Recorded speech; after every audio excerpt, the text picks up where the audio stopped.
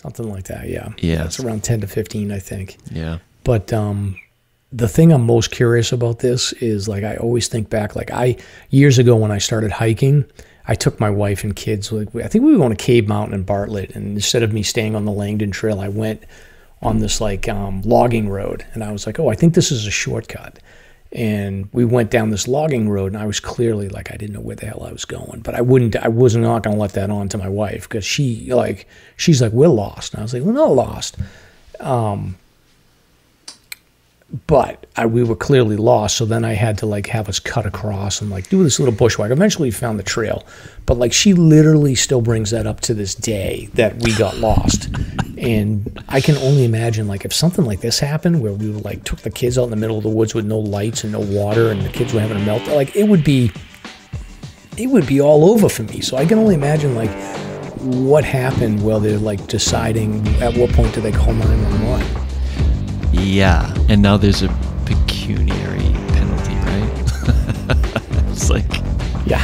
now there's a bill to make it even more rem- memorable. oh boy. Broadcasting from the Woodpeckers studio in the great state of New Hampshire. Welcome to the Sounds Like a Search and Rescue podcast, where we discuss all things related to hiking and search and rescue in the White Mountains of New Hampshire. Here are your hosts, Mike and Stomp. All right, Stomp. So we are uh, episode 20. So what were you doing when you were 20 years old? I, I don't remember. My brain fails me, but I just recently I was buying gas. I was filling my tank for about 20. Now I'm paying about 40 or 50. does, that, that? Oh, for your for your car. yeah. Yeah, yeah, No, 20. Well, I was still waiting to be 21. yeah, yeah. Same with me. 20 is kind of like that teaser. It's like I got a whole nother year before I can start drinking and partying. Yeah, I got to travel Europe. That was pretty cool. You did. Oh, Did- hell whereabouts in yeah. Europe did you go? Central Europe. I started up in Germany and uh, made my way by train and hostel all the way down to Mykonos and I think that oh Santorini. I went as far down as Santorini in Greece, you know the Greek Isles, and then back. Uh, just backpacking, you know, just jumping on trains, and it was really wild, incredible time. Really? I wouldn't have pictured that for you. I didn't think you were that uh, that much of an aristocrat that you'd be going over to Europe backpacking like Well, that. I, I had a reason. I had to bring my my Oma. I was sort of the guide. I was the the escort for my my Oma, who was getting on in her years, and she went back to Germany before she passed to see her family. I mean, she still had sisters in in uh, Hamburg, so there was a mission behind it. We had to get her to see her family, and um, once she was settled, I just took off for a while and saw Europe. So pretty neat. I lived on cheese and beer for like a month and a half. Oh, nice. I guess that's. I'll that's never forget it. To go when you. Yeah, it was pretty Yeah, intense. That's a good trip. I always Yeah. regret that I didn't get a chance to do something like that when I was younger. So I think if Mm. anybody's listening, like I always tell, even I tell my own kids, I'm like, definitely either like during college or the time between college and when you start your life.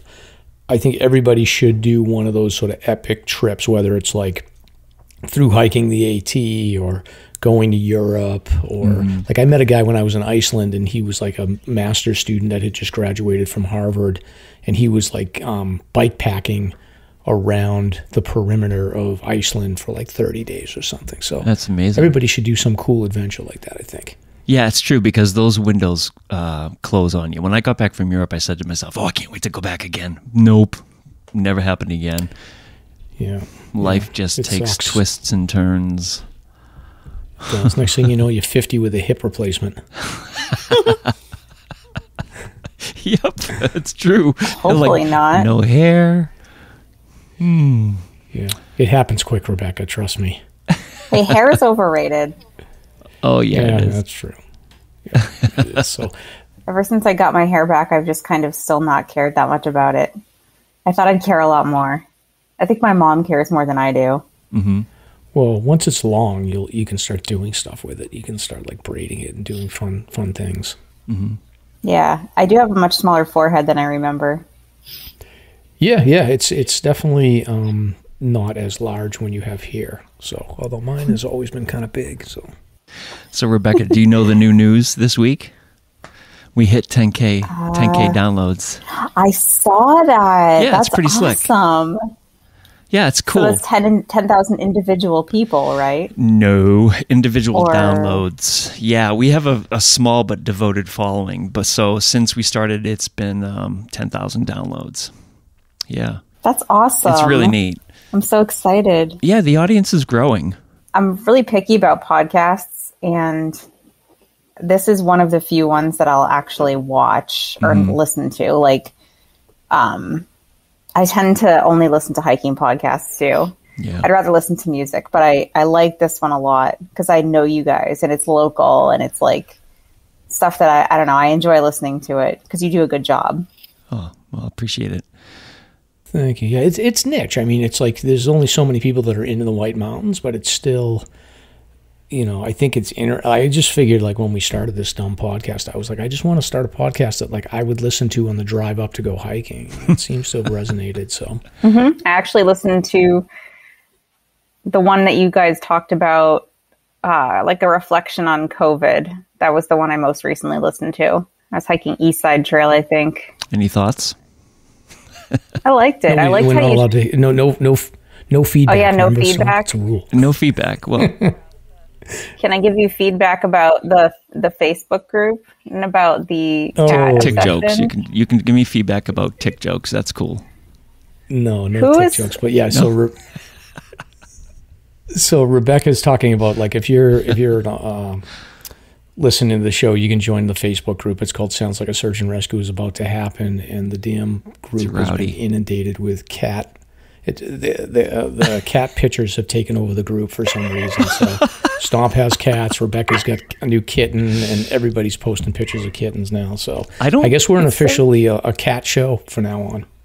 It's just so random. Don't take offense, but I really don't visit the the page. I, I get secondhand information from my wife, but with the information she gives me is like, hmm, that eyebrow raising. I'm like, oh, that's interesting. Yeah. It's like the one place I can go on social media that I don't feel like it's being filtered. And I like that about it. Mm, because it's like I can go on there and I know that it's not going to be, I don't know. It's like people that, whoever is in that group, I don't really know anyone that's part of the group. I just know that they just, there's like no holds barred or whatever that phrase is. I love it. yeah, that's awesome.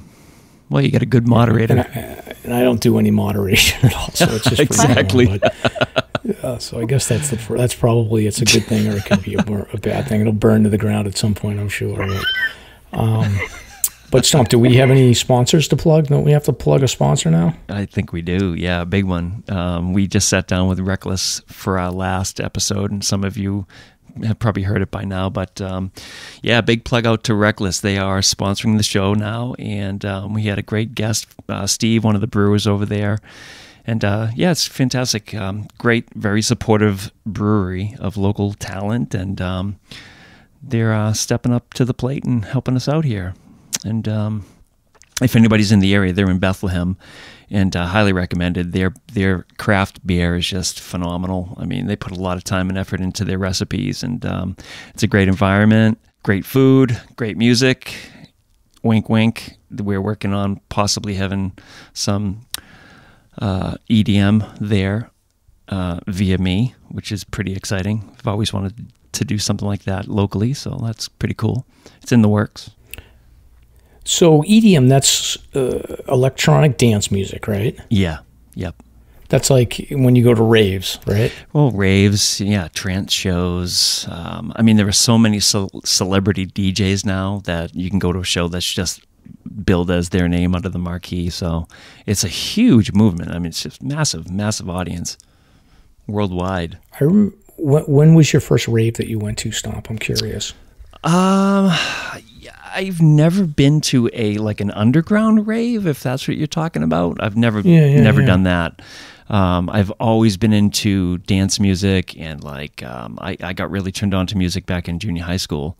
There was a DJ uh, north of Boston, Steve Spinelli, who was mixing mixtapes on cassette and I just became his friend and he would give me mixtapes every week. And this is like the Run DMC days and like really early stuff. And um, I've always been a fan of just four on the floor disco and I know it sounds funny, but I love it. I'm just addicted to it. And now um, it's come so far. Everything's digital, and you have these turntables that are all digital, but it's like actually using an old school turntable, uh, but no records involved at all. It's all MP3s, and it's incredible.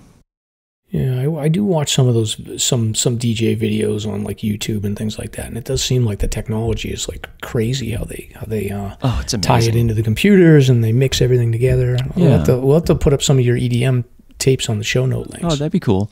But uh, in terms of like recent shows, I mean, eh, you know, Royale and all these different clubs, um, some of these talents will come through, and the shows are just phenomenal. They're for me as an audio audio producer, it's more of a sonic experience for me. Um, the music itself is beautiful, and the production value that they put into these songs actually is a lot more complicated than people would think. So, I'm an audiophile. I just, I just absolutely love it for its complexity and um, the energy at these shows. It's just, it's just awesome. Love it. Yeah, well, I'm not that into music, but I did go back in the 90s. I was like, I used to go to raves quite a bit um, when they first started becoming like a thing. And I remember going to like Fitchburg at the hockey hockey rink in Fitchburg, and they would have like these underground raves where um, everyone would go. And I remember one of my friends trying to buy like I think he thought it was ecstasy, and somebody sold him like a pill for like ten dollars, and it was like a Tylenol. And he, I was like, dude, that's a Tylenol. Like that's not.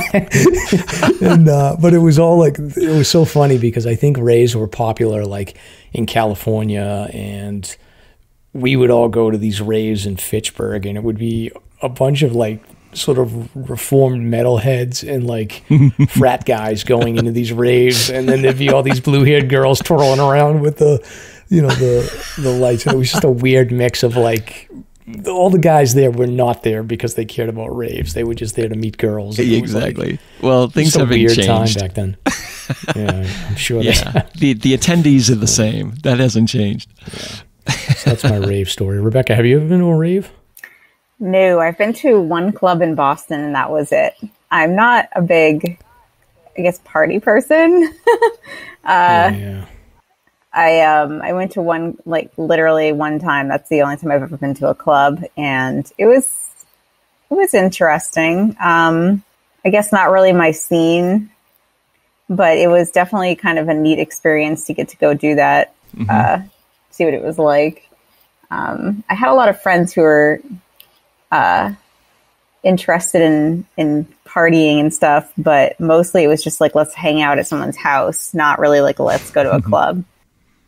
Yeah, we'll safer. Yeah, those days are far in my rearview mirror at this point. So, um, but maybe we'll go. We'll go to the EDM show at Rek-Lis Brewing when when Stomp gets over there or something. So should be mm-hmm. a good mm-hmm. time. Sounds good. Yeah, it's funny. All right. Um, any other any other housekeeping stuff, Stomp? I think we have to. I think by the time the show is released, we'll have a link where people can donate to offset the production cost of the show. It'll be, I think, SLASR Podcast slash Buy Me a Coffee. Um, and then if you do want to sponsor the show, we'll have some information up on the uh, the SLASR podcast site about how you can do that. And basically, what we're asking is if you donate to a search and rescue organization and you can show us a receipt, we will we'll put a put in a plug for the for the uh, the organization and the show. And then also always buy us a, hike safe card to help um, support Fish and Game. Those are available, and we'll we'll put a link on the the show notes on how to do that as well. Yeah. On to the show summary here. So um, tonight we are welcoming back Rebecca. Welcome, Rebecca. Hey, Rebecca. Um, so she's coming hello. back to the show to talk about. Oh yeah, hello. Socked in. Um, so Rebecca's here to talk about trail maintenance. Um, so she was on, I think, episode eight, uh, but we brought her back because she's since adopted a trail, and um, you know, since the last time we spoke with her, she's been busy making sure that her trail is in great shape for all of us to enjoy. Um, and she's also been out hiking all over the place, so I'm sure that we'll catch up with some of her recent adventures. We're also going to talk about a couple of recent hikes that Stomp and I have been on that involve some slides and some bushwhacks. So we wanted to share details about those hikes because we thought the audience might be interested. So if you're looking to get off of the trail and find some lesser traveled parts of the Whites, we've got you covered. And then later in the show, we are going to cover recent search and rescue news and also talk about a push to rename um, some federal locations. Uh, so there's a there's recent legislation that's being pushed through where um, the Congress is trying to basically look at renaming um, rivers, lakes, forests uh, information. So we're going to talk a little bit about that and get get Stomp and Rebecca's thoughts about that. So so I'm Mike.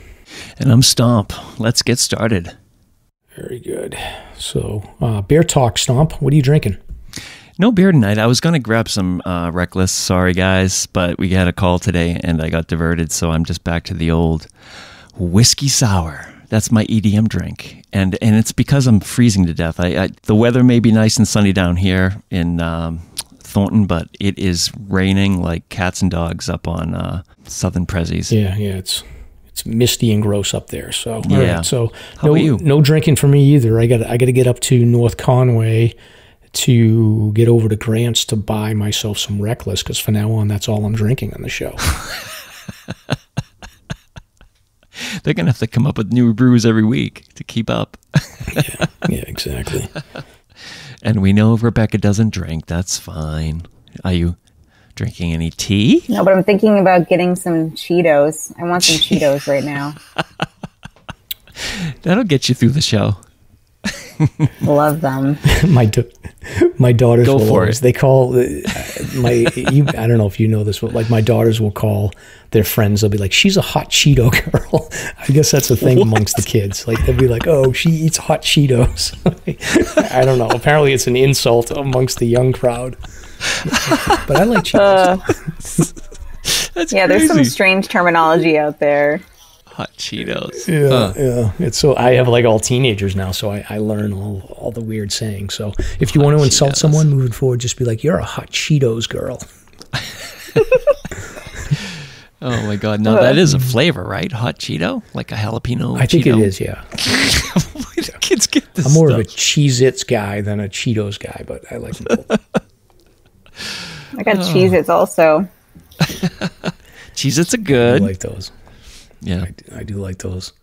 Um, that's a good. That's one of my hiking snacks. Like I'll have. Same thing with my wife. I usually will throw in a bag like Cheez Its, pistachios, and then peanut M and M's. That's kind of like like my go to mix.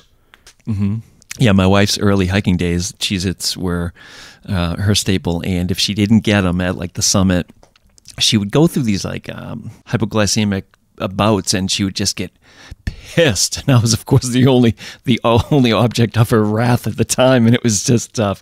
So there was this one time we did um cannon, the cannonballs, came back down, and had to had to walk the bike path back.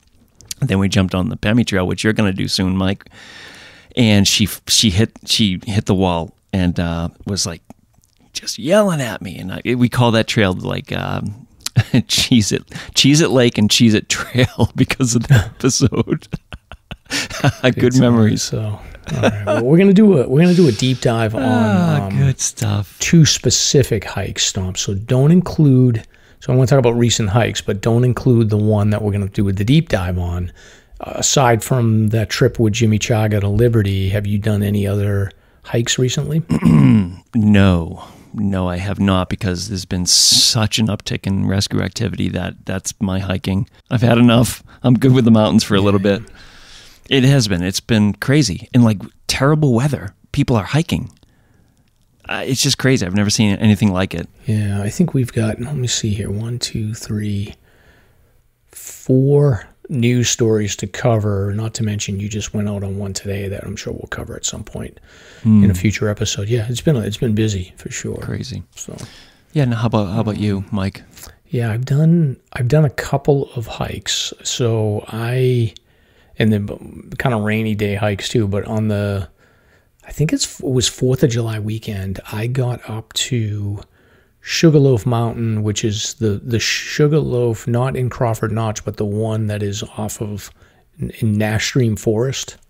Have you ever have you ever been I there? have. Rebecca? Have you been there on that one? Yeah, I did that one last summer. That's a nice. Um, It's awesome. I love that area. The Percy Peaks are beautiful. They're right near that. They're right down the road from the Sugarloaf Trail. Yeah, yeah, I did that last last fall. The frame of the fire tower is still up at the top of that one. Yeah, yeah, but um, Sugarloaf was cool. It was like I, I was the only. I didn't see a single car driving up Nash Stream Road, and I didn't see a single hiker the whole way up. I just I saw a baby deer that was kind of cool, but I was kind of spooked out because it was rainy and like you know you get those days where it's like rainy and dark, and you know that like there's nobody else around and you're solo, and you just start like something just got in my head. I was like, "There's Sasquatch out there. There's, there's aliens gonna come and duck me." So. Um, it was okay, but there was no views, so I sort of like did it because I'm working on the 52 with a view list, but I got to get back there to um, to see it with a view. So I may actually that would actually be a good one for all of us to do is to go up and do Percy Peaks, and then maybe if we felt like we had energy, we go up and do Sugarloaf. So Sounds good. Yeah, I love it up there too. that was, but that was number 50 for me for 52 with a view, and then I also got out to I found a secret spot. Stomp. I don't know if I should give it away. In that area, Nash Stream. No, no, no. It's in it's in Western Maine. Okay. I feel like I shouldn't give this. away. I'm going to regret this, but I'm I'll, uh, for the audience's sake, I will give you. And so, have you, you guys ever heard of Mount Cutler in Hiram, Maine? I have. Yeah. So Hiram is like on the other side of Fryeburg, and this tr- these trail systems. I don't think they're on all trails, or uh, maybe they're on all trails, but they're not on um, G- uh, Gaia GPS. But like Mount Cutler has this trail system in Hiram, and it's it's pretty cool. It's like it's pretty low, but there's all these trails, there's miles of them. I think I did about four miles. And there's a bunch of great views out into western Maine and looking down into the Saco and stuff. So it's definitely a cool area. So I would recommend that people go check it out. Just don't go there when I'm hiking. I don't. I don't want to see anybody else, but it's it's a cool area. Will do. yeah. And Rebecca, you've been everywhere. Like I see No you. kidding, like, right? It's, like we could be here all night talking about where you've been hiking. But like, what was your what what is your one most recent hike that you've just done? One Rebecca. Uh, yesterday. Yeah, only one. So yes. Okay. Well, yesterday I did um, Gordon Path and Brook Path, which are in the um, Wonalan- Wonalancet area. Mm-hmm. So Ferncroft is where you park for uh, Whiteface, Passaconaway, that parking lot. Oh yeah, You know where that is? oh yeah. yeah. So I- I'm, I'm looking. Okay, so there's there. I'm working on um the on redlining, so I was doing trails towards that yesterday. Uh, I kind of am working on. I don't even know. I'm not really working on anything. I'm just doing what I feel like doing. But those two trails I needed to do, so I did those two. Um, and Brook Path is so pretty.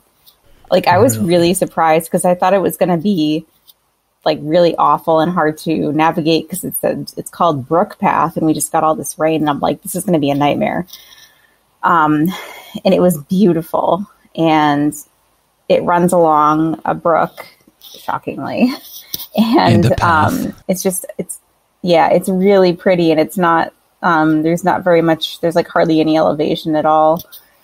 And then uh, as I was walking the road back to my car, it was a little kind of a little creepy because there's all these signs on the side of the road that say bear dogs are not allowed in this area because it's a bear conservation area. And I'm like, oh, this is safe. I just was out meandering in the woods in the bear conservation area.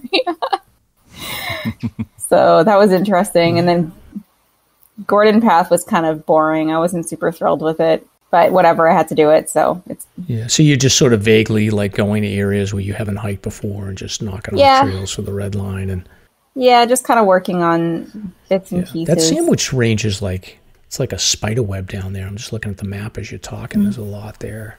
Hmm. Yeah, there's all sorts of weird stuff going on. It's kind of almost like the Northern Prezzies, where it's like Yeah. that off, off Appalachia parking lot.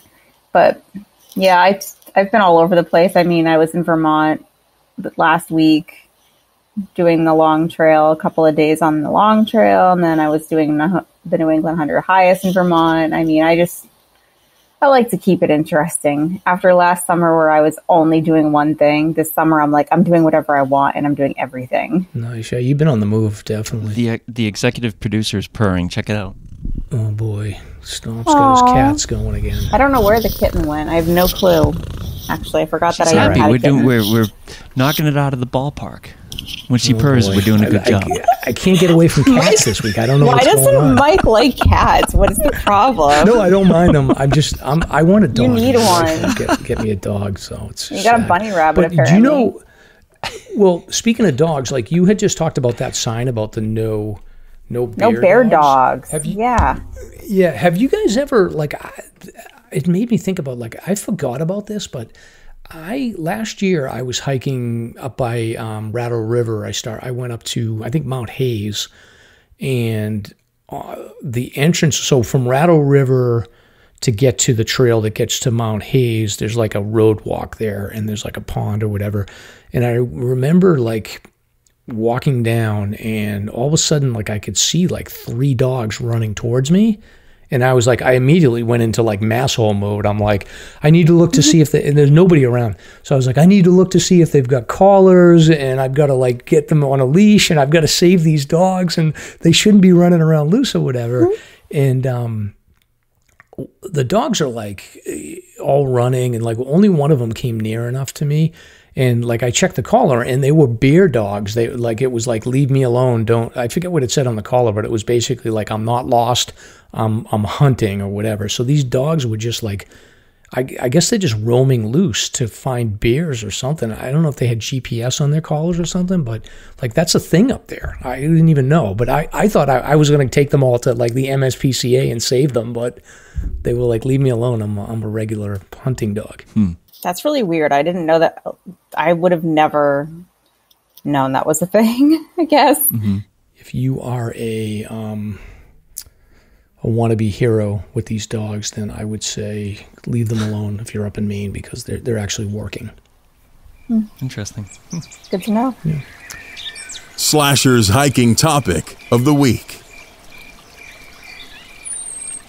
Rebecca's back to talk about this uh, subject. Trail maintenance is obviously a pretty critical um, endeavor, and there are a good number of people that are involved doing this week to week, committing a lot of time, almost probably comparable to some search and rescue volunteer time, I would think, in some circles. That'd be an interesting number to dig up trail maintenance obviously you have trails that uh, you have blowdowns you have the water diversion. I don't even know what you call them to be honest with you. I'm fairly ignorant about this. But all that stuff has to be maintained and it is up to the trail maintainers to do this. So we're glad to have you here. I've seen your activity out there on the trails with other folks and um, glad you're here to talk about it. I've I've tried to become a trail maintainer, but I ran into some hurdles where they just didn't get back to me. So that's sort of weird. Maybe we can touch upon that at some point. Why don't you take it away? How did you get involved? Um, so originally in 2017, I talked to Mike Cherim. He is pretty involved in the whites. I took one of his classes through his organization and um, I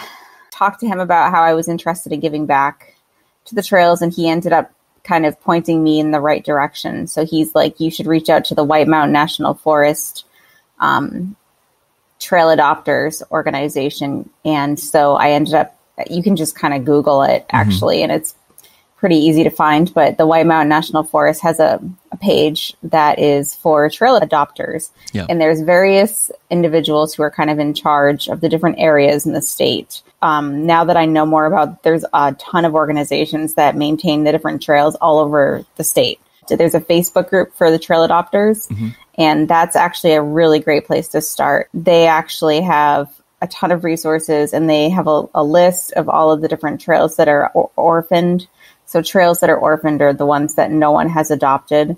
Um, that doesn't mean that no one's maintaining them, but oftentimes that is kind of the case. So um, it is, I think, the White Mountain National Forest Volunteers and then the New Hampshire Trail Workers Group are two Facebook groups that I'm part of. And the people, the person who runs those pages, um, they post stuff all the time about uh, orphaned trails and ways to get involved. yeah. Are there expectations from these groups about how much time to put in or? There's no official expectation in terms of hours through the White Mountain National Forest trail adoption.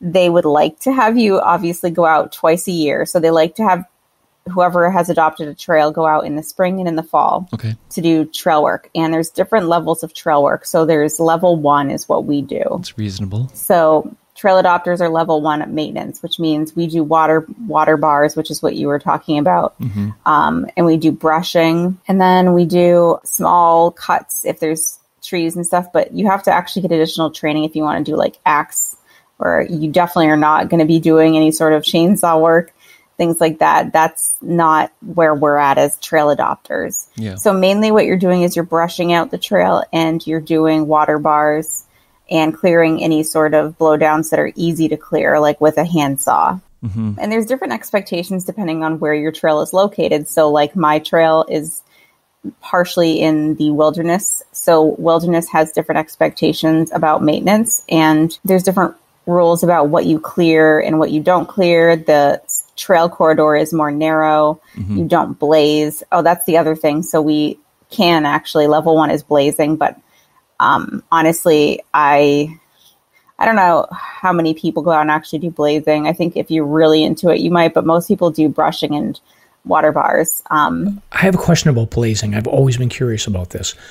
Do they give you guidance on like, do they basically say like it needs to be like 20% of the, it needs to be like 80% faded before you can do a new blaze? Or do, do people have the autonomy to just blaze it every year? when I went to the training with um, Kristen Bailey, she's awesome. She actually did the training that I did back in 2017. She didn't say specifically about when to reblaze, but she was very explicit about blazes needed to be a certain size. There's actual dimensions, and you actually have to use a certain paint. Um, where you would blaze on the tree needs to be in a certain location and stuff like certain height.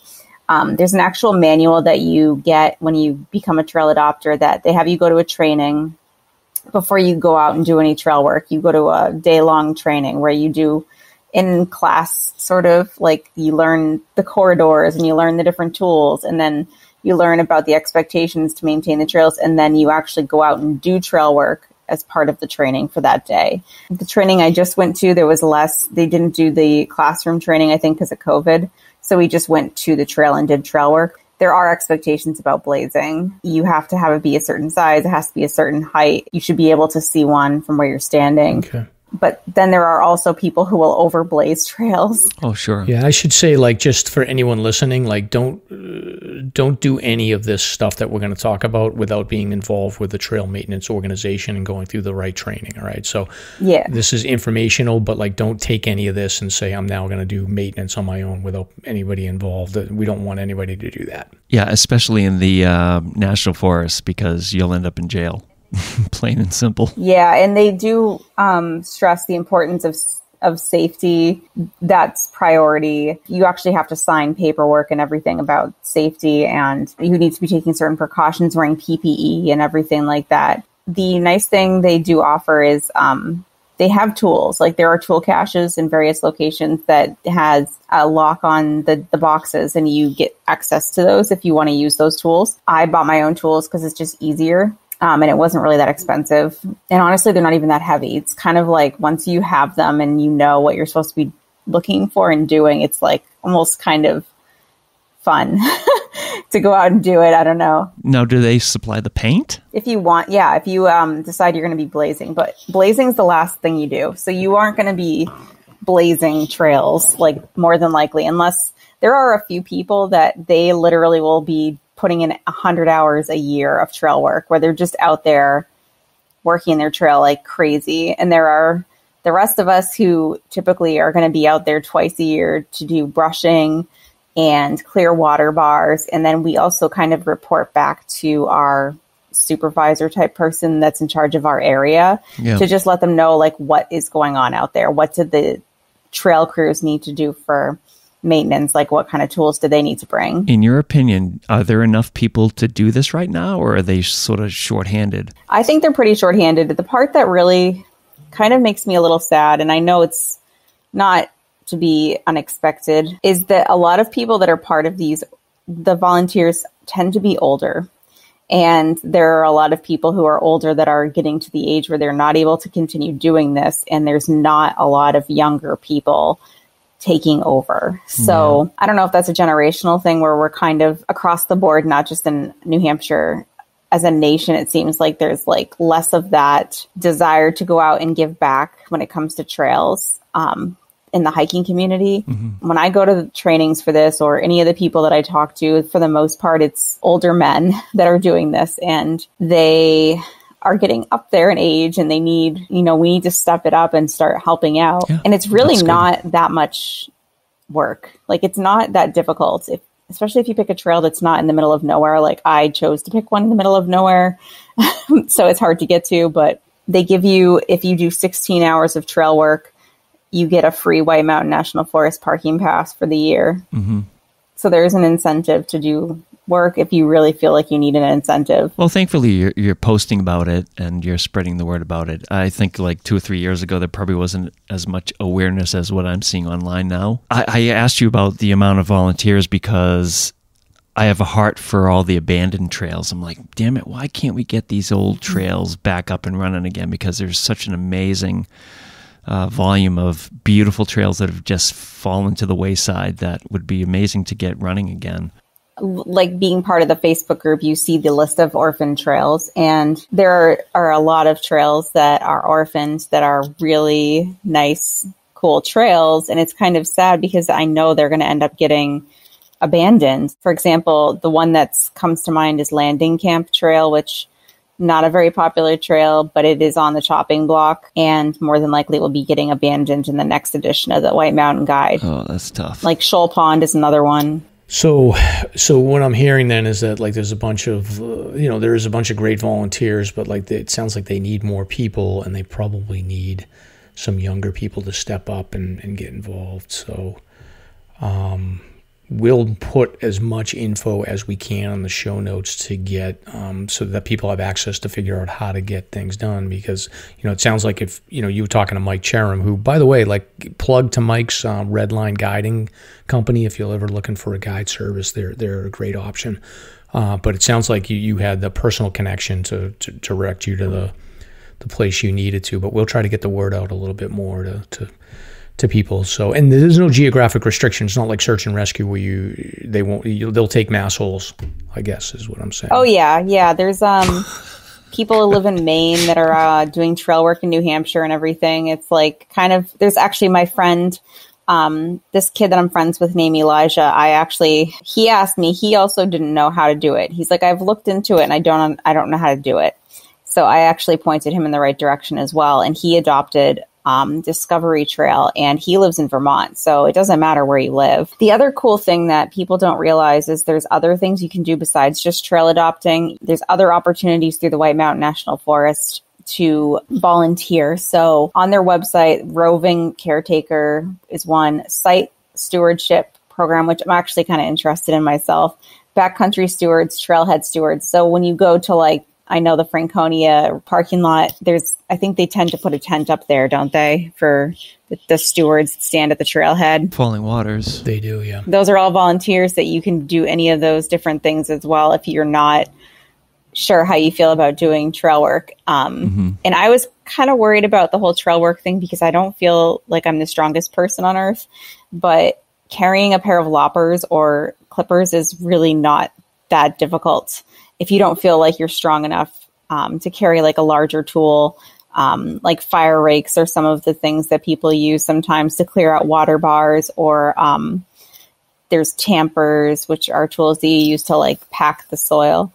Those are heavier tools, but if you don't feel like you can carry them, you can always just bring a pair of clippers and go out and, and brush out trails because that makes a huge difference. What do you guys use to uh, move giant boulders, like you know, hundred pound oh, boulders? see, that's not something we don't do that. That's not this level. I got That's like a um, higher level maintenance. That's more like the actual Forest Service that goes and does that. Trailwrights, I think, does some of that as well, which is another organization. Um, it's a patch organization. I think you guys know of Trailwrights, right? Mm-hmm. Yes. Hmm. One thing that is really important is don't go out and just brush someone's trail, like you had said earlier, Mike, because, for example, as a trail adopter, if I plan on going out and clearing my trail and then I go out and it's already been done, I'm going to be really kind of a little annoyed that I just mm. lugged all this gear out there.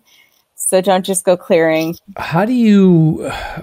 I'm trying to think like logistically. Like, do you just take a day and like say I'm going to hike the whole length of the trail and take notes on what needs to be addressed or do you just go out there with all the equipment and just tackle it a little bit at a time? I'd be out there like with a notebook taking notes and going crazy. So my trail's five and a half miles long and it takes it's um I think it's four miles from one trailhead to get to my trail or it's two miles from the other trailhead. So it's a haul to get out to it. So the way I did it this past spring is I did it in two chunks. Um, and I went and did two miles of it from one end. And then I actually connected with the White Mountain Collective. I think that's what it's called. Um, the White Mountain Trail Collective. I connected with them and went out with a group of uh, veterans to do the other half of the trail. Um, but normally, what I would recommend if you adopt a trail is to do reconnaissance on it before you bring all your tools because you don't necessarily like I didn't need to bring water bar clearing t- devices because I I think I have maybe two water bars on my entire trail. So it's better to do recon first. And with this sort of the, the larger stuff that you're talking about, like if you do you have any bog bridges on your trail?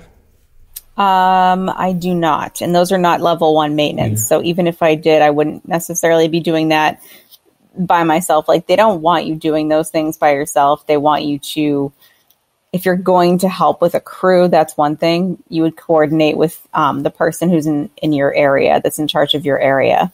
All of this information is only applicable for White Mountain National Forest trail adoption. So there's various organizations. There's a, a lot of organizations that maintain different parts of of um, New Hampshire's trail systems, and every organization has different ways they handle things. So another really popular one is the Randolph Mountain Club, and they um, they post stuff a lot um, to have people go out and help out with trail work. And the AMC also has a ton of trails that they maintain. Um, I was given the directive that they tend to be a little more difficult to work with in terms of adopting trails, which is why I chose to go with the Mountain National Forest. And I know the AMC charges you, like you have to pay to be an adopter, which is a little weird to me. Um, yeah, but it it it fits the AMC aesthetic, I think. yeah, and actually, they just put out a list of orphan trails, and there is a ton of the um a ton of trails that are very popular trails are all orphaned by the AMC right now, which means they don't have a trail adopter for s- so many sections of trails that are really popular. Like part of um, the trail between uh, Liberty and Little Haystack is all orphaned right now. That whole stretch of trail, like there's sections that are pretty popular that are orphaned. You know, one of the things that you see, like uh,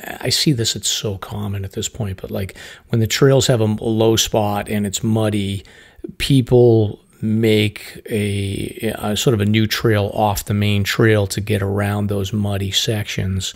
Do they give you any sort of training or advice on how to how to close those off, or do they just say if it's a muddy section and you know we do they take the perspective that like we've got to fix the muddy the mud issue and the water issue or do they take the perspective to say try to reroute them back through the mud so that they're not going off and creating a new side trail um, well you don't really you don't want to widen the trail further by eroding it so the yeah we want you to walk through the mud technically mm-hmm. but at the same time mm-hmm. it's pretty it's like, well, they're not going to listen. So they will teach you about things like um, people are going to take the path of least resistance.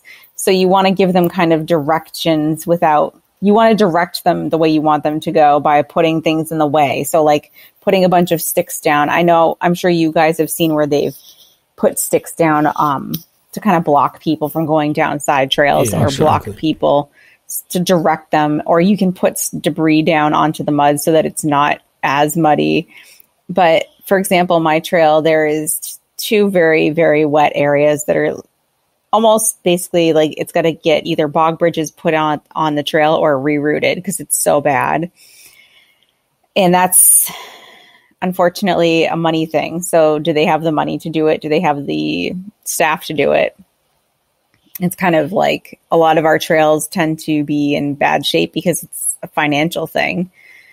Um, but yeah, the the hope is that people won't be eroding the trails by making side trails or by widening the trail corridor by walking on the sides where there's no mud. But everyone does it because no one wants to walk through the mud. Mm-hmm.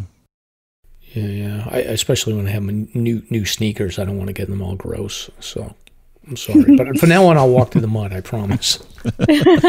I mean, I don't. I I'll do. I'll go around it if I if it's really bad. I was just when I was in Vermont last week. I've never seen anything like it in my life, and I've done some pretty awful trails. Mm-hmm. It's the level wet. of mud. It was. Yeah, well, it, that's. I mean, if you're going to be on the long trail, you might as well just full send and like just experience the mud the way it's supposed to be experienced, right? Yeah, it was unbelievable. All right, so Stomp, you, what trail are you going to adopt? Oh man, I see. I told you, I already tried. well, I tried and I got rejected. That excuse apparently. doesn't fly now. Now you know how to do it. We'll talk. We'll get Mike Cherim. He'll he'll give you. He'll he'll tell you how to get there. So. Uh, yeah, I have a heart for the abandoned trails, like I had mentioned. I would love to see something happen, especially with the volume of people hiking now. I think we have to revisit the fact that all these other trails are available, and a lot of them are, are in really great shape. Yeah, yeah. We'll see. But I mean, you do enough volunteering stuff, so you're off the hook. But I think I, yeah. I am definitely curious. So I'll take a look online and see because you know I'm, I'm I fit the mold. I'm old and I'm a guy. I can do trail maintenance. well, I know there's a stretch of high water trail that's uh, up for adoption. Where's that? Where's oh that? my gosh, it's in uh, the Wild River Wilderness. So High Water Trail. Oh, that's close to where I am. So that trail is in. It's one of those trails that is notorious because it is just beyond like the level of damage that it suffered during um, was a tropical storm Irene, the more recent one that we just had. Uh, I think that's the, the one. It the bombs, destroyed. Bomb cyclone, yeah. Yeah, it like destroyed yeah. stretches of that trail. I guess I would take Falling Waters. You can have that. You can have if that. I had an option, I would take Falling Waters Falling because Waters. that needs some help. You know, especially well, the, the wet, slippery sections you know, up above. Like, holy moly. Yeah, yeah. Well, the thing about Falling Waters is like if you were the caretaker there, if you could get a hold of the uh, the trail sign, that thing like goes to auction. Like I think people pay like ten grand for that trail sign, like oh every, every year or two. Wow, really? So, wow. They do. Yeah. But uh, no, this is good. This is very interesting. Um, what uh, what else did we miss about trail maintenance? Anything? There's a lot of organizations. I highly recommend. Like I copied and pasted it into a Google Doc, the list of them all. But I really I put this blog post together and it has them all. So I highly recommend. Not because I want people to go to my blog because I really it doesn't do any me any good other than just having people know. Um, but it really is, there's a lot out there.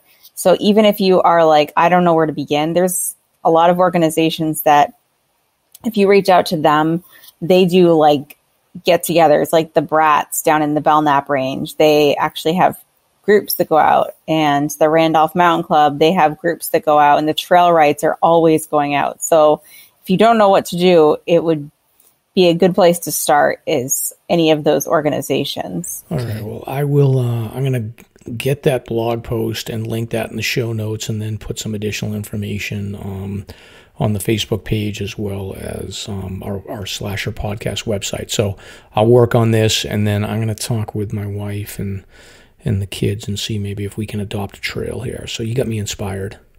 That's really Yay. cool. Anything else? Stomp? Any additional questions, or we want to move on to um, some talking about slides? Moving on. We're moving on. Moving on. All right. So segment two here is um, a little bit more sort of a riff on recent hikes that we've done. Um, I wanted to grab Stomp and talk about like I think it was last weekend or the weekend before. Both of us went and did um, separate hikes. So um, he invited me um, but I did not invite him on my hike, so I guess I feel I'm kind of an asshole. I'm, I'm, sorry, Stomp. Um, but Stomp did a hike with Jimmy Jimmy Chaga, who was our swimming hole expert, uh, that he wants to talk about, and then I want to talk about um, my hike with the Hiking Buddies crew on uh, on the Lincoln slide. So Stomp, why don't you start, and um, Rebecca and I will ask you some questions here. So you hiked Mount Liberty with Jimmy, our friend Jimmy and you like you sent me some details on the hike and I was like reading it and I was like I don't know where the hell this guy was hiking but like it mm-hmm. has something to do with the bushwhack something to do with a slide and craziness. So your hip is obviously like back to 100% and you're doing you're back to doing your crazy bushwhack. So mm-hmm. can you tell us a little bit about the route that you took and if this is something that's going to get people killed like make sure you tell people like not to do it unless they're experienced This is actually, if you're into bushwhacking and a challenge, this is actually something that is manageable, but it's going to be one hell of a workout. Um, this was the hardest bushwhack I've ever experienced. And, um, you know, the train at, at times was probably 50, 60, 60 degree steepness, which isn't too bad when you're um, avoiding a giant 600 foot slide and often the vegetation off to the left or the right. Um, so it, it is something that somebody could manage if they're into bushwhacking and have a moderate degree of experience doing that. It's not a Lowell shoot, let's just say that. You know, you're not talking about Okay. climbing up Cannon Cliff or something like that. This is absolutely manageable, but it's going to be probably the hardest physical thing you'll ever run into. I, I discovered. I mean, generally, I'll I'll discover strange little anomalies in people's Instagram posts, or while I'm cruising around Google Earth looking for things, or when I'm driving. I happened to discover this slide when I was driving through uh, Franconia Notch, and I've seen it a million times. It's the southwest corner of Mount Liberty, and there's just just this massive gash that runs up from basically Flume Gorge uh, straight up to just below the summit. And it was something that I'd put on the back burner, and uh, once my hip was you know feeling 100% which it is at this point i'm pretty happy about that i contacted my partner in crime jimmy uh, we've done a lot of crazy stuff and um, i'm really comfortable with with him when it comes to new adventures like this so he and I finally f- had a day to do it, and it, it's pretty easy to get to. You're essentially going up the Flume Slide Trail, and for some I'm looking at a map as you're talking here so I'm trying to sure. recreate the route yep. So basically, 1.7 miles in, or if you're counting brook crossings, it's the third crossing in. Once you get to the third crossing, Flume Slide Trail continues on and banks off. Right at that junction, you just turn left and you're going to see um, a fairly large field, um, which is the base of this slide. And it's, it looks like a football field. It's huge, but it's obvious. If you're walking up into this field quickly enough, it starts to narrow. The walls on either side of the brook become steeper and steeper and steeper. And sure enough, you're heading up towards this slide did no recon on it. I figured that it would be safe enough to get up it by, you know, hand over foot climbing vegetation on the sides of the slide. And that was fine. That worked out well. Um, so as we were beginning the ascent, the brook became really slippery. So what we decided to do was climb up about a 30 foot rise to one of the side walls of the, the gorge. And what that led us to was an old 1800s tote road. Um, I confirmed this with Steve Smith, and he uses a system. It's it's lidar, which some listeners may be familiar with, but it's a new uh, topographical service that you know hikers can access. And there's something called Hillshade, and he sent me a picture of what we discovered and what this what a tote road is back in the logging days when they were doing operations up in the hills you know for logging. They would use these roads which are basically carriage roads for you know uh, gear to be brought up for the loggers. So we stumbled upon this tote road which allowed us to just avoid the, the brook all the way up to the base of the slide. It literally went to the base of the slide, uh, which is phenomenal. We are like, oh my God, this is fantastic. And you could see, um, you know, human boulder laying, so walls demarcating the side of the roads. Steve was saying that um, this slide itself was probably formed in the 1800s when Flume Slide actually was formed, which is pretty neat. A lot of history there. Did you see any signs of like recent um, travel there? None. None whatsoever. And that's part of the intrigue about bushwhacking uh, for me. I, I love getting away from people and I love finding routes that have not been done recently. Um, obviously, we're not the first people in this region. I mean, this is a road that's been there for X amount of years, decades, and um, but it had not been traveled that I could see uh, anytime recently. And did you top out on? Did you did you get to the peak of Liberty, or did you guys turn around below it? Yeah, we sure did. Once we got to the top of the slide, that's when it became really challenging because the Krummholz kicked in. You know, the short, stunted, barbed. Uh, it just it just rips into you. I mean, eh, this is where I say that this is probably the the hardest bushwhack I've ever done because it was it took every ounce of strength to break through the layer uh, upon layer of uh, Krummholz and um, uh, vegetation to get to what I call the spine. If you look on Google Earth, Yeah, I'm looking at it right now. I know exactly what you're talking about. okay, so you, you see the slide tops out, and then to the right, you have to go up another few hundred feet to get to the spine. Imagine like um, uh, Katahdin, the knife edge on Katahdin. It's very similar. So from the summit of Liberty, if you look south, you'll see the spine travel down maybe half a mile. So that stretch between the slide and the spine was where the Krummholz was just absolutely brutal. Once you got to the spine, it became more of like a um, a scramble session where you were just climbing boulders.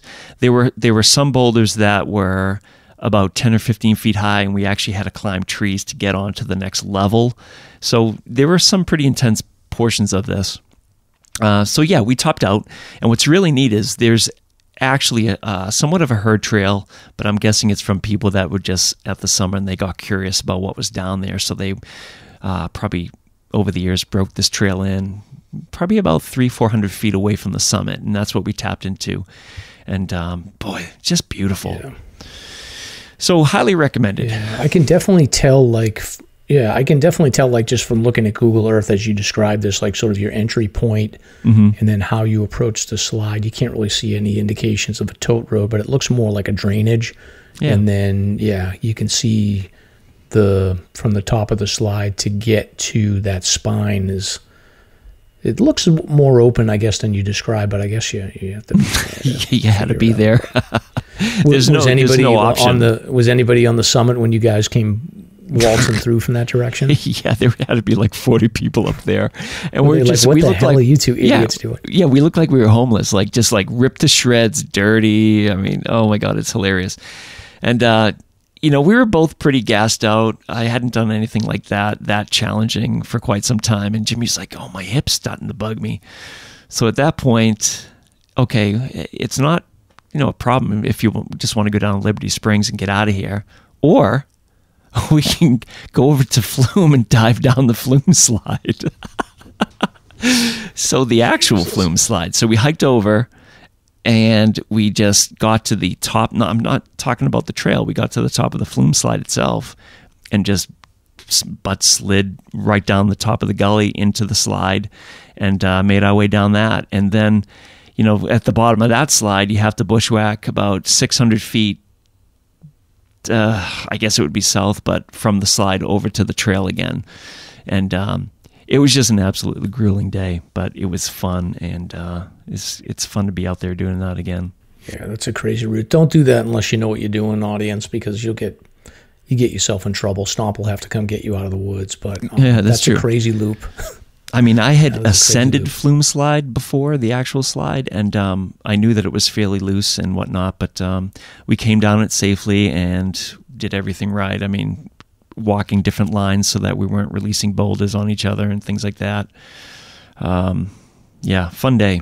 Wow, well, that is a unique hike. It was, yeah, and it's just neat to see that there's so much history buried in these deep, dark hikes. It's incredible.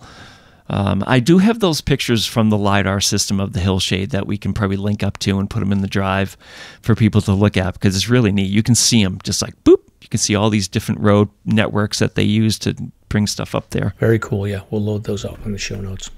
Yeah, and um, let's see what. Now let's, What about your slide? I mean, Yeah. You went down the monster. I went down the beast. So I, I think This is a huge slide. huge. Yeah, yeah. So for, I, I think the, most of the audience probably knows what we're talking about when we say a slide. But basically, a slide is just a huge rock slide that falls off the mountains, and they're everywhere in the whites. But there's there's some that are much more significant than others. And I would say, I don't know, Rebecca, you probably know too. But like I would say, the Lincoln slide is probably the biggest slide in the whites, right? I would, I would, it has to be. I'm actually not that sure. I I tend I don't know a lot about um, off trail type thing features, geographic features. I know the flume slide is ver- notorious. Um, it's very steep. I don't know um, about off trail slides though. Just anecdotally, I mean, the images make it look like it. I've never seen anything bigger. I'm sure there might be, but I mean, you can see the slides on the, the, the northern side of Scar Ridge. Those are massive. They got to be massive ledges and things like that, but Lincoln is huge. Yeah, yeah. So I um I forget what episode it was. Was it episode eleven or twelve? We had the hiking buddies on, so we had Ben and Haley on. So as part of that show, I had I had talked to Ben and I was like, and I had done a hiking buddy one other time with my friend George. I had met George on on a winter hike, and I had said like I'm going to put up a request to um to do Owl's Head via the Lincoln slide. So most people go to Owl's Head through Lincoln Woods, and uh, you know it's it's just not that appealing to me. It's just sort of a flat trail to a you know the owl Owl's Head. So I had previously done this a few years ago. My friend Andy showed me this path, and basically the route is starting from Falling Waters Trail, ascend Falling Waters up to Franconia Ridge, and then you summit Mount Little Haystack and Lincoln and from once you pass Lincoln, there's two small sub summits. I think there's the first one, and I don't know what that one's called, but the second one is called Mount Truman, and it's sort of the last peak before you drop into the col to ascend up to Lafayette. And in that, on Mount Truman, there is a little herd path off to the right that you have to ascend and it sort of hooks around. It does like you basically head north and then you loop around south again and you if you take that herd path correctly, like the first time I did it with Andy, we had no visibility and I guessed wrong and I brought him into the thick, thick um, woods that we had to cut through. But this time we timed it perfectly. So I ended up doing this buddy hike. So the, the deal with the buddy hike, Rebecca, you'll have a heart attack when you hear this. But what you do is you post up the hike and you say, "I'm going to do this this hike," and then random people that you don't know will hop on and they'll say like okay i'm going to join you so you don't know these people and you so you have no idea what their skill is what their you know their temperament is and you know, you just kind of roll the dice. So I don't know, Rebecca. You that's not definitely not your style from what I know of you, right? It sounds like a nightmare. Yeah, you know, and believe it or not, it turned out to be awesome. So my friend George, who I had previously done the hike with, he was like, I had reached out to him and I was like, I'm doing this again, and he's awesome. He's like this 22 year old kid that's he's like done 200 plus hikes on his grid so far. So he's going to do the grid. He's doing he's gridding. So he's awesome. Like I had no no worries about him. And then well, I had two new friends who came, and um, one of the other hikers she brought her dog. So at first I was like, I messaged her and I was like, well, we're going down this Lincoln slide. Like uh, hopefully the dog's going to be okay because I was like, I don't want another like rescue with a dog situation. And she was like, no, my dog can handle it. And I'm, I'm always like, you know, people know their dogs or they don't know their dogs. So I was like, it's, it's fine. And it turned out like she has the most amazing Aussie. It's a red merle Aussie. And this dog, dog's name was Lucy.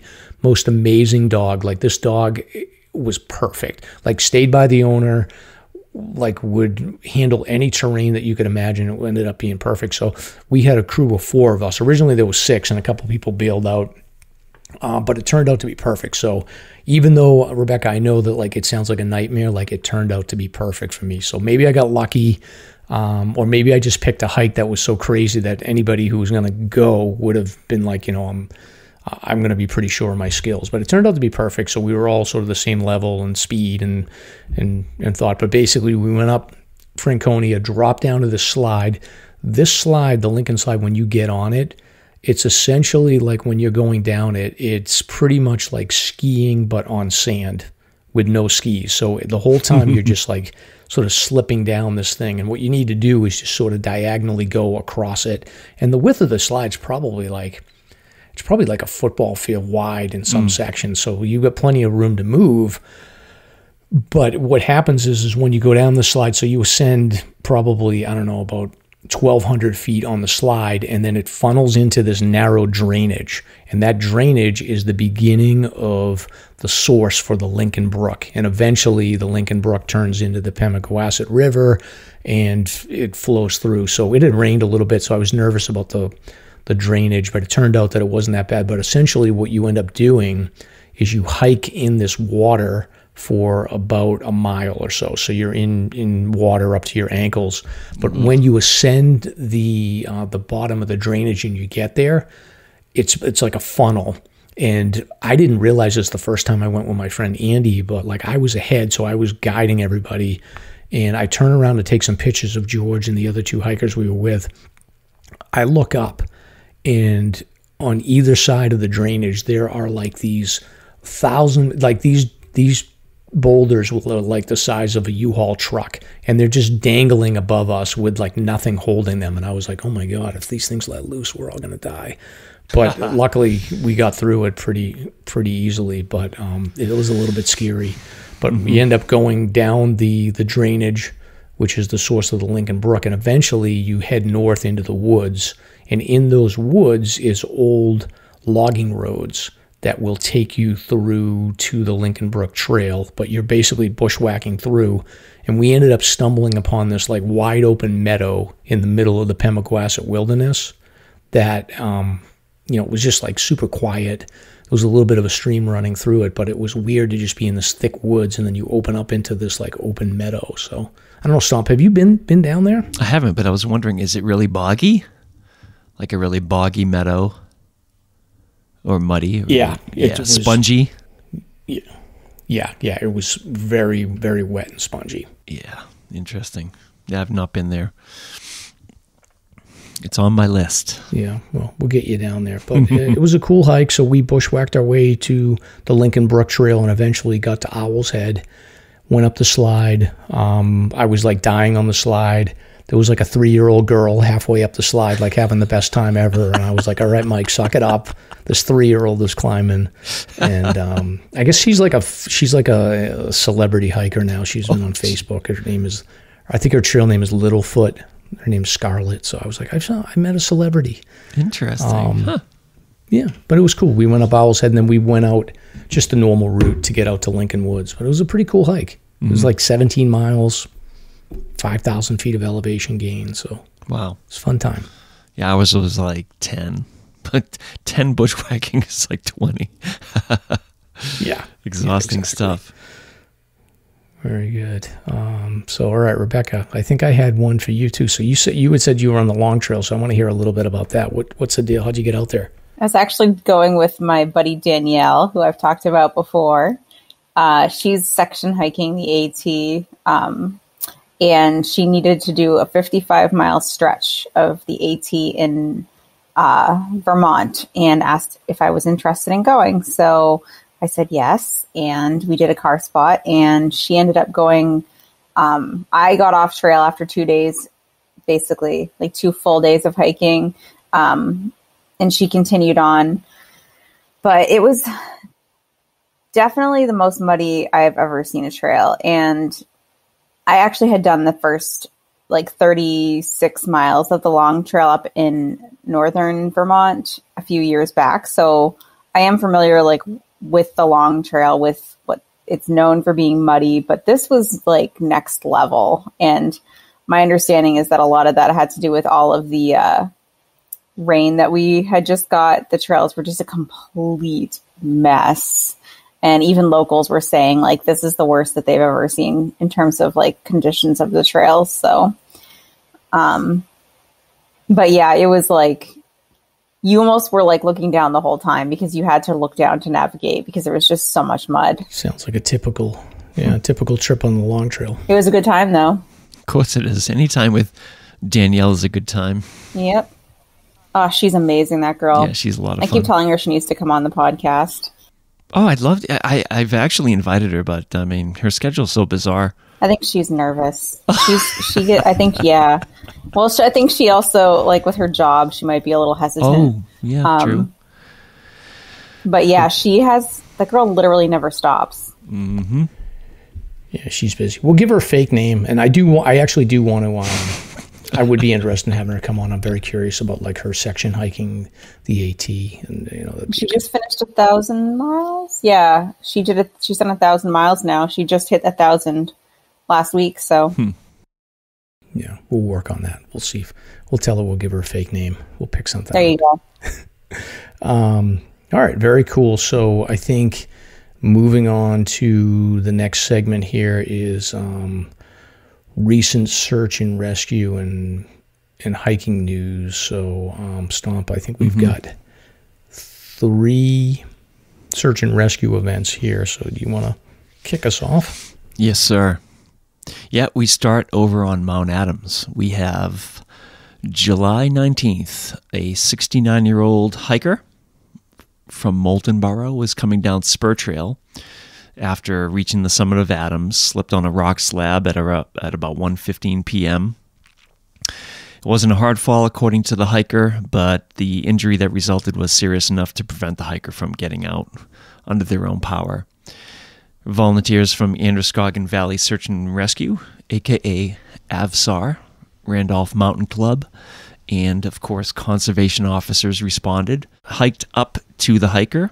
This person was an extremely experienced hiker, according to the report, and was a past member of the responding rescue party, AVSAR, for many years. Uh, the report goes on to say it was difficult for this person to make the call for help as he knew firsthand how much effort goes into a carryout. But nonetheless, the call was made. Rescuers showed up and they all arrived back at the parking lot at 7:45 p.m. and taken to a nearby hospital. This is really interesting. This is the big joke in search and rescue. It's like do whatever you can not to have to put that call in. Yeah, I mean, he must have obviously like he did something bad because he. Stuff happens. If you were on search and rescue, like you must know, like, oh, I'm not getting out of here unless I get carried out. So. Yep. Yep. Absolutely. Um, and that's not easy terrain, but I mean, that might have taken this person, God knows how long to get out of there by themselves. So, you know, things happen. This is what, what would you, is this a, a shame or a no shame, Mike? Oh, definitely no shame. No shame. this is like getting hit by lightning. It really is. So, uh, good job, Avsar. Those guys are pretty epic. Yeah, yeah. Hey, you know, maybe it turned out that uh, it'll it'll prompt. Maybe he hadn't been in touch with them for a while, and maybe it'll prompt them to reconnect and have a beer or something. Yeah, I'm sure. Yeah. So moving on to ah, this is this is for me. It's last weekend. Um, I stayed home. This has been the weirdest July ever. It's the wettest July ever, and nonetheless, there are those days where you get the hike vibe, like the rescue vibe. Like, okay, I better just stick around because something could happen. And um, it was one of those days where the rain was supposed to stop around 11 o'clock in the morning. And, and it sort of did. It was cloudy and overcast, but still uh, misty and drizzly.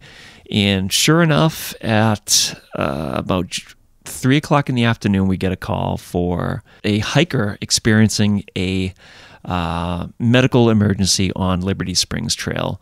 Um, this person was 67, uh, a hiker from Maine.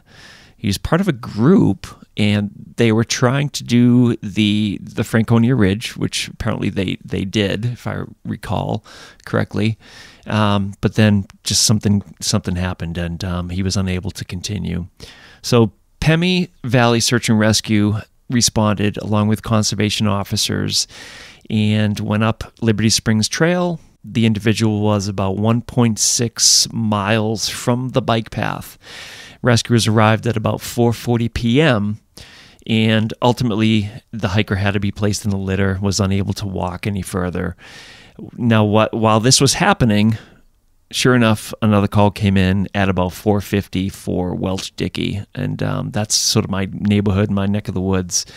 And part of the rescue team that was attending the first hiker on Liberty Springs uh, was dispatched and fast as hell ran down the trail and went to Welch Dickey because they, you know, they more or less had the patient stable in the litter and they were making their way down gradually.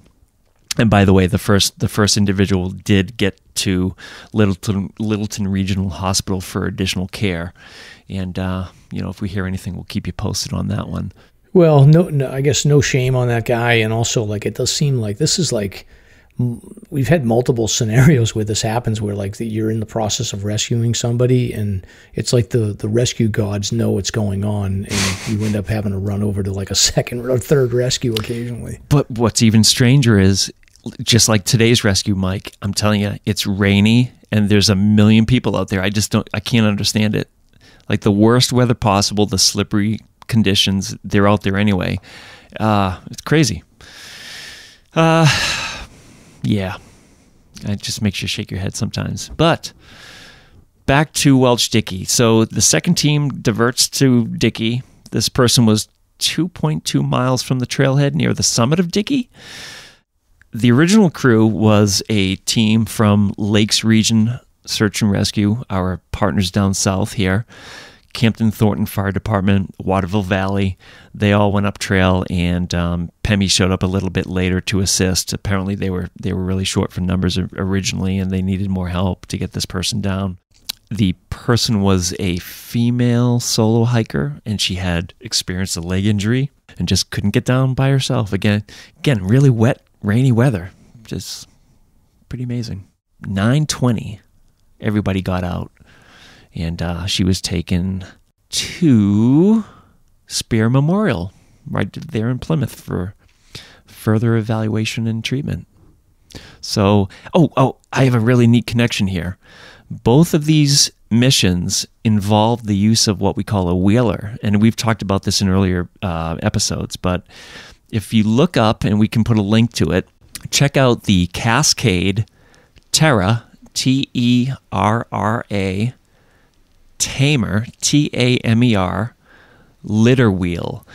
Um, this is something that, um, you know, it's like certain circles really don't like these things, but this new variation upon this idea has actually been uh, a really nice addition to rescue tools that we use on the trail. You know, unlike uh, a regular bike tire, this is a four and a quarter inch wide fat tire and basically it's a it's like one of those fat tire bike wheels on the bottom of the litter. And on certain trails you can just just get the get the people right down really quick and easy. And it, it comes in really handy when somebody may be uh, a larger individual, you know, heavier frame. So check it out; it's very cool. So both of these missions involve the use of a wheel. It's so it's a single wheel in the middle, and it just takes sort of the it, it takes away the need for you guys to have to bear the weight, but you have to absolutely ensure that you've got the leverage to make sure they don't go flying off yeah directions. Yeah, you know, when I first started search and rescue, the um, the original wheels were just like basic, you know, uh, two inch wide wheels from like a bicycle, and the the camber and just the maneuvering of these wheels was very strange and sort of awkward and almost frustrating.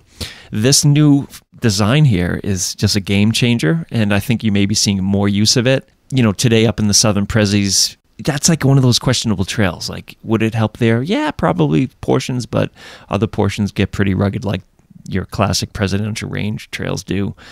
But uh, yeah, check that out. That's a really neat uh, tool that we have available to us. So that was uh, utilized on both of those missions.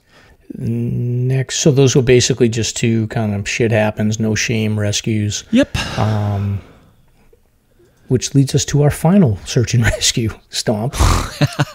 and I wasn't aware of this one until you brought it to my attention. Do you want to cover this one or? Yeah, yeah, go yeah, for it. I This can is- cover this one. So, so you wouldn't have been aware of this one because I think that this was just ultimately a um, a ah, I forget what what is that called? Stomp when just the Fish and Game off. It's a walkout. Oh, an basically. I escort. It was just a walkout. Escort. Yeah. correct. Yeah. So, um, this happened on either Monday or Tuesday this week. So, uh, family from Florida So I have to imagine that they're if they're from Florida, they maybe they don't know the terrain that well. Um, but New Hampshire Fish and Game was notified of a group of hikers that were in distress about 1.3 miles up the old bridle path in Lincoln on Monday at 11 p.m. All right, so it was a That's family late. of four, husband, wife, and two sort of tween age uh, kids. I think they were maybe 11, 12, 13, I'm not sure. Uh, but the group was hiking Falling Waters to Old Bridle Path Loop, but had, uh, stop me if you've heard this before, guys, but um, they had significantly underestimated the time it would take for them to complete the loop, according to Fish and Game. Imagine my shock. Um, so, shocker. So this to me, so it's eleven o'clock when they called. So my guess is this is one of these scenarios where they're like, "Let's start at two o'clock. It's eight miles. We'll get it done." Um, but the the group was hiking, um, you know, the loop, and apparently a member of the hiking group was severely fatigued. Um, they were without water and um, stop me if you've heard this before, but they not only were they without water, but they were without a light source to see the trail in the dark. So, um, which is impressive that they waited till eleven o'clock to call because they had no light. They probably that was when their cell phone lights ran out. Oh Boy, But that's rough. I just uh, I'll get into the whole husband wife scenario in a second. But after considering the challenges faced by the group, it was decided to mount a rescue effort. So a conservation officer from the Fish and Game Department responded to provide lights and ensure the group made it to the trailhead safely. So I'm assuming they told them like, "Don't move, we'll be there. It's a mile and a third. We'll get out there." So um, the str- the distress group was met with um, a few Good Samaritan hikers. So I don't know who these Good Samaritan hikers are that are like on the old bridle path on a Monday night at 11 o'clock, but good. You know they, they got a good story to tell, but they basically reached the group at 12:30 a.m. on Tuesday and gave them lights, gave them some hydration, and uh, they were able to get them out at um, 2 a.m. So it took them an hour and a half to get a mile and a third, even with the conservation officers there. So some of the, ki- my guess is that the kids were probably bonking hard or they were just done. Oh, yeah. Um, but due to the unpreparedness of the hikers, um, they're going to recommend that the family be billed for this preventable rescue. So Interesting. very interesting. Yeah, So it happens. Based upon our bacon episode, what was it like a dozen or so a year get billed? Maybe was that the number? Something like that. Yeah. Yeah. It's around 10 to 15, I think. Yeah. But um, the thing I'm most curious about this is like I always think back. Like I years ago when I started hiking, I took my wife and kids. Like I think we were going to Cave Mountain in Bartlett, and instead of me staying on the Langdon Trail, I went on this like um, logging road, and I was like, oh, I think this is a shortcut. And we went down this logging road, and I was clearly like, I didn't know where the hell I was going, but I wouldn't, I was not going to let that on to my wife because she like, she's like, we're lost, and I was like, we're not lost um, but I, we were clearly lost. So then I had to like have us cut across and like do this little bushwhack. Eventually, we found the trail, but like she literally still brings that up to this day that we got lost. And I can only imagine like if something like this happened where we were like took the kids out in the middle of the woods with no lights and no water, and the kids were having a melt, like it would be, it would be all over for me. So I can only imagine like what happened while they're like deciding at what point do they call nine one one. Yeah, and now there's a pecuniary penalty, right? it's like Yeah. now there's a bill to make it even more rem- memorable. So. Mm-hmm. Oh boy. So interesting. So we'll see. Hopefully the husband is going to survive the, the trip and they, they make it back to Florida. Okay. Yeah, interesting. That's a, that's a shame Yeah. and dangerous. I mean, geez, how old are these kids? You said tweens, right? I, I think they were, yeah, I think they were like maybe um, not yet teenagers, but old enough where they were able to do a hike like this. Hmm. Yeah. Wow. Well, glad it. Uh, glad everybody's out safe. And I'm trying to think what the weather was like Yeah. that night. Probably crappy. I can't remember the last sunny day. I don't know. Yeah, I don't know. I don't, I can't remember. Um, all right, so so that's all the search and rescue. So I'm going to mark that one as a shame. so just start earlier and bring a headlamp, people, please. Shame it is. What was the rating scale that you used to use? Well, I used to use, so it's evolved. Uh, I used to use. all right. Uh, so uh, originally, this whole idea, like I, I've evolved and I've matured a little bit. Like I'm less judgmental about rescues. So, but I used to say um, it was either shit happens, you know, which is like a lot of these, or I would say shithead. Um, but now that we're doing the show and, you know, Stomp's involved in search and rescue, it's really not like politically correct, correct to say that. So now I, I judge it and I say shame or no shame. So, um, but I've actually, like, to be honest with you, like, I used to be very judgmental. Like three, four years ago, I would be like, how could anyone need a rescue? Like, but the more and more you look into these and you, you realize, like, how, most of the scenarios where people need rescues are just no fault of their own. Like be, I've I've gained more empathy over the years. I don't know what, what it is about about it, but you know, it used to be that I was much more judgmental. Spending a lot more time with Stomp, maybe. He seems pretty empathetic. I think Stomp has, yeah, yeah, positive You see the director in the background, Stomp. Yeah, exactly. the executive director. The where is right. She? Oh, oh, she's right there. She's, We gotta get Mike a cat. she's on the chair right next to me. Yeah, well, we may have to. We may need to name that cat as like the official SLASR podcast, like um, um mascot or Yeah. something. So, Make although I make a like the shirt. kitten better. The kitten's a little cuter, Rebecca. So maybe we'll have that. I don't know where she went. Probably not a good thing. All right. So the last episode. So I was going to do two news stories, but I've, I'm going to cut it short and do only one news story because I just got a text that my daughter blew her tire out, so I got to go change a tire after this. okay. Um, but the last article, I wanted to just get both of your takes on this. So, um, this is a news article that I, I found was interesting.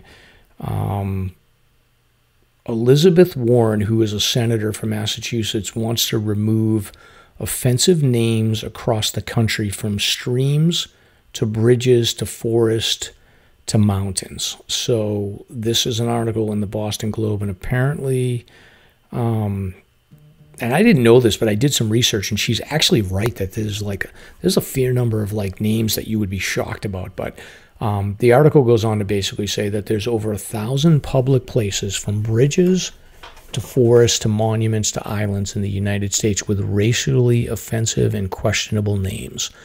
Um, so the Massachusetts senator introduced a bill Friday to create a national panel charged with identifying rec- and recommending geographic features across the country that should be renamed. So she said this is about ending egregious expressions of systemic racism and bigotry and taking a step towards dismantling white supremacy in our economy and our society. It's about building an America that lives up to its highest ideals. According to Warren's office, there are thousands of forest, wilderness areas, and other public lands with offensive names that celebrate people who upheld slavery, committed atrocities against Native Americans, or led Confederate war efforts. And then they cite this study from 2015 by this organization that found over 1,400 federally recognized places in the U.S. that had slurs in their official names, most commonly the words squaw and negro. So um, basically, the geographic names, uh, the U.S. Board of Geographic Names is this panel that meets, like they meet like once a month, and they review, and they're in charge of naming all of these mountains and streams and rivers and everything. And you can actually work with this organization to change the names of certain things. And I think probably the most common one that we would be aware of is I think Mount Clinton was supposed to be changed to like Mount Reagan or something. And there's been a back and forth with the New Hampshire legislature, changed it, but the U.S. Board of Geographic Names didn't approve it. Um, so it's this very sort of archaic, slow process. So I think what this bill is trying to do is to create a panel that can sort of step above the U.S. Board of Geographic Names and do like this large scale name change. So I wanted to just open this up to you guys because I think you know, there's definitely some names on there. I went through the database and there's definitely names like there's probably like 10 or 12 in Maine that like they got to be changed. Like they're racially insensitive um, and obviously so. Like, um, but you know, for me, my fear is that like they're going to go after the presidentials and they're going to basically say like Mount, Wa- uh, Mount Washington needs to be changed, Jefferson needs to be changed. I mean, all of these presidential peaks were slave owners. So my fear is you know, I say clean up the obviously racial names, but like my fear is that they're just going to go after like a bunch of different things that um, would be, in my opinion, an overstep. So I don't know what the two of you thought about this, but I figured it would be a kind of an interesting topic to open up.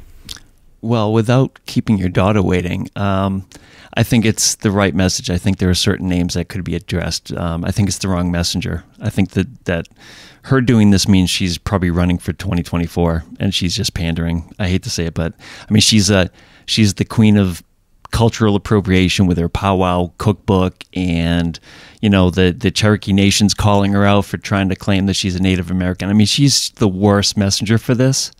And if you want to get a sense or like you know read the pulse of what people in mass think about this in general, just read the comments section of this article and you'll get a quick idea of what they think about this person. Yeah, like I said, great idea.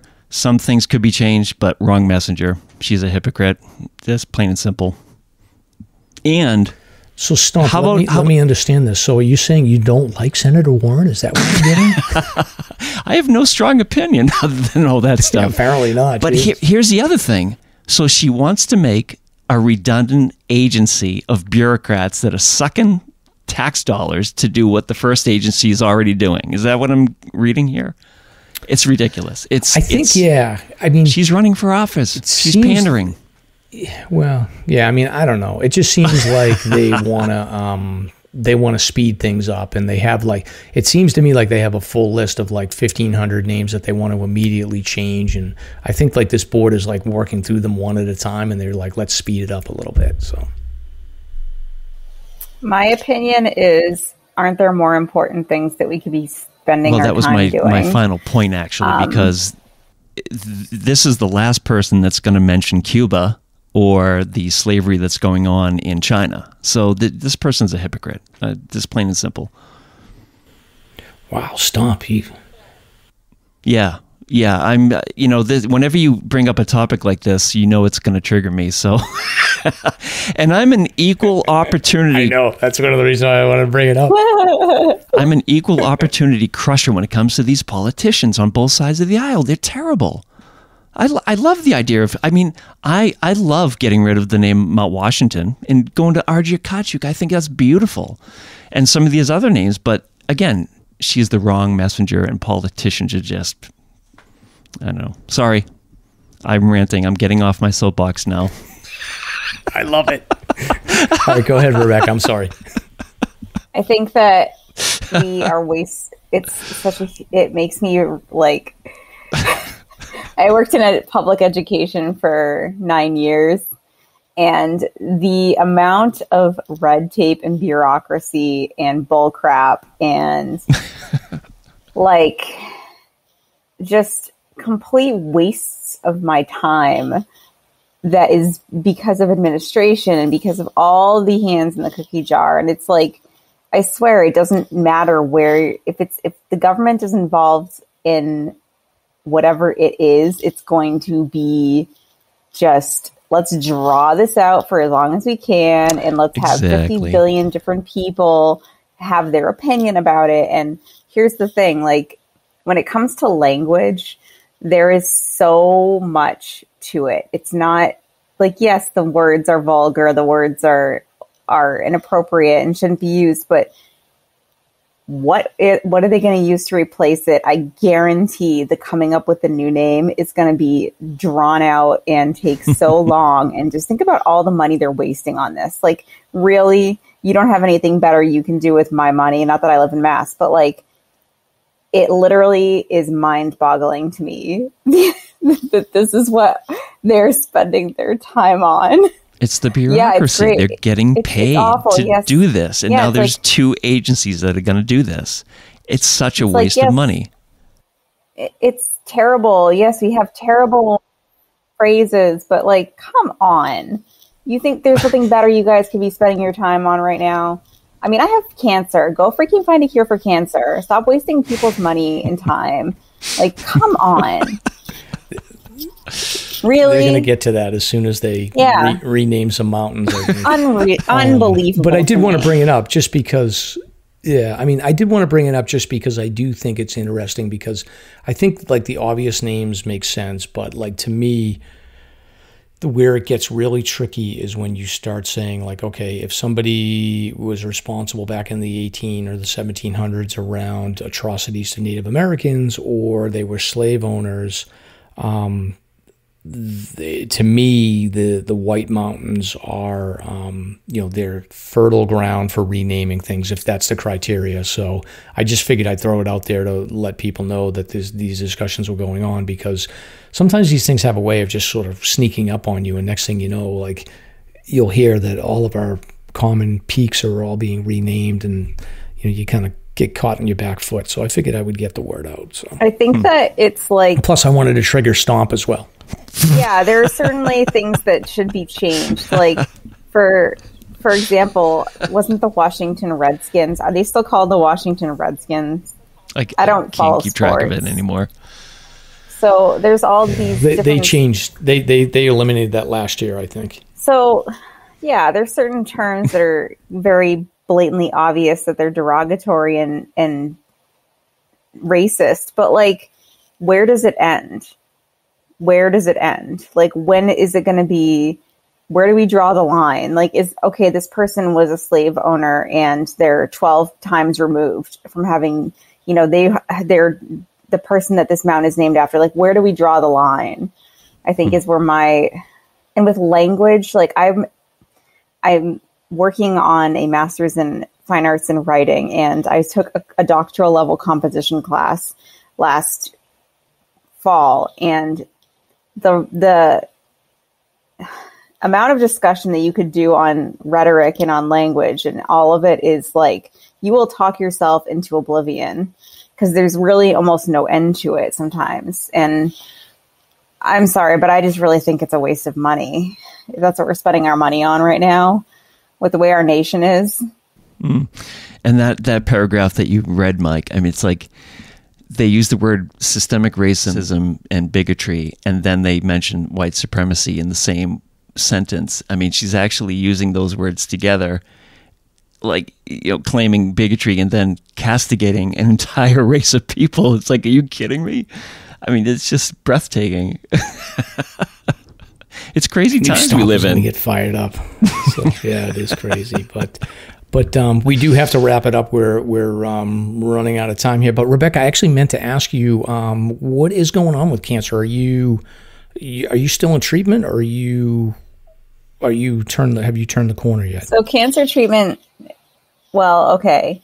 So cancer is good going the same basically. So I'm in um I get Herceptin, which is a more mild form of chemotherapy once every 3 weeks. So tomorrow morning I actually go in to get treatment. Um my last round is sometime in mid-October. I'm not sure when yet. And then I have to take a hormone blocker pill for 10 years. Um so yeah, it kind of doesn't ever really end, Yeah, yeah.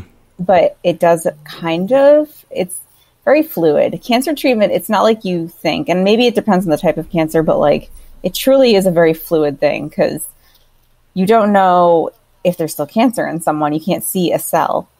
So you don't know until the person's got like a tumor. Um, so that's why there's technically like no cure because you don't ever, you can't eradicate it completely. Yeah, yeah. It's just like a it's like a ticking time bomb that's sitting inside of you, and you know you just have to hope it doesn't go and you off. hope that you killed it all. Yeah, like you want you do all these treatments because the hope is that you've killed all of the cancer cells, and then you take these other precautions to hopefully block any future growth. Um, but there's not like it's done now. I'm all done. There's no such thing. Yeah. Are, are there like crazy side effects for the, the, the blockers that you need to take for 10 years? honestly, I don't want to do it because I know how awful it's going to be. And I just try not to think about it. But it's basically like going to put me in menopause being on it while I'm on it. And then once I get into menopause, I have to switch to a different hormone blocker. Um, it's basically making it so that if there are cancer cells in my body, they can't feed on my hormones because my hormones were feeding the cancer. Yeah, yeah, yeah. So, So I get to go through like hot flashes apparently and like mood swings and weight gain and all those fun things and I don't even know what else. Like I try not to honestly like I can't even like think about it yet. I don't want to think about it.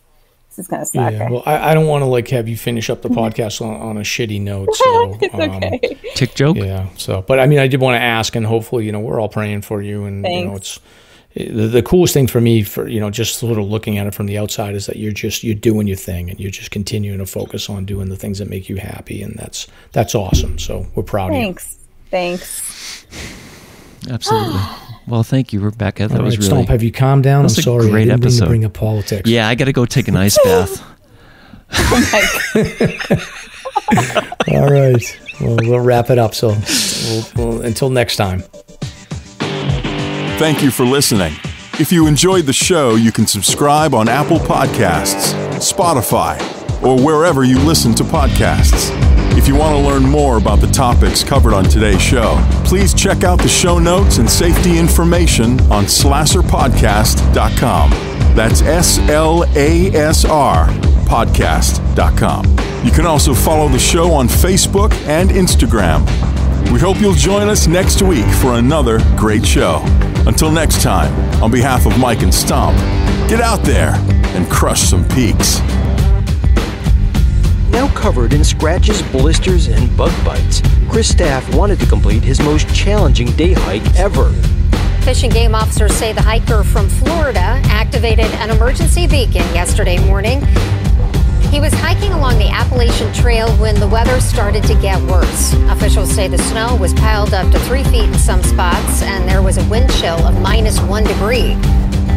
And there's three words that describe this race. Do we all know what they are? Only one hell. Is Lieutenant James Kneeland, New Hampshire Fish and Game. Lieutenant, thanks for being with us today. Thanks for having me. What are some of the most common mistakes you see people make when they're heading out on the trails to hike here in New Hampshire? It seems to me the most common is being unprepared, and I think if they just simply visited uh, hikesafe.com and got a list of the 10 essential items and had those in their packs, they probably would have no need to ever call us at all.